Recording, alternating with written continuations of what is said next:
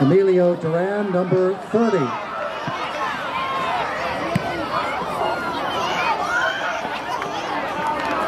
No gain, second and 10 on the 11.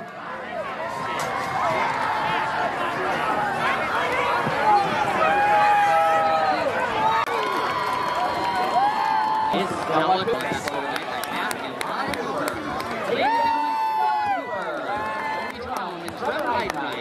Ladies and gentlemen, Sophie this year from football team forward tonight by Chad and this free time Sandwich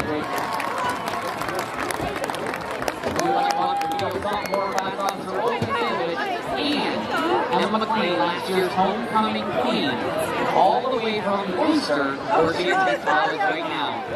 And this time, she's going to crown our winner. Ladies and gentlemen, are you ready? Well, I am. So here we go, our 2021 Ottawa Hills Homecoming Queen, Maggie Sommer!